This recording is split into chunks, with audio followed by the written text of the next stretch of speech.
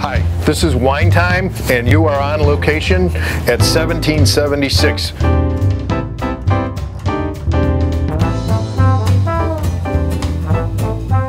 Now we're going to talk a little White Zin because this is what's kept all these old vine Zinfandels in the ground. So the majority of, of Zinfandel today in California has an old vine.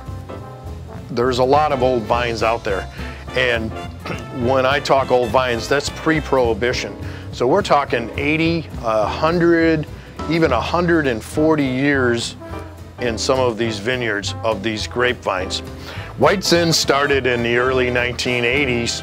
By about 82, 1982, the Trincheros tried to make Zinfandel one year, and what happened is they've got a stuck fermenter, so the yeast died.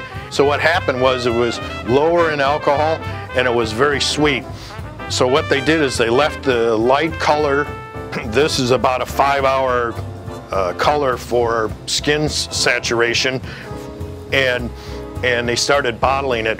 Well, in 1983, they sold a few hundred cases. By 88, it was the most sold wine in the country. So in some ways, be thankful for White Zin. And that's my story, and I'm sticking to it.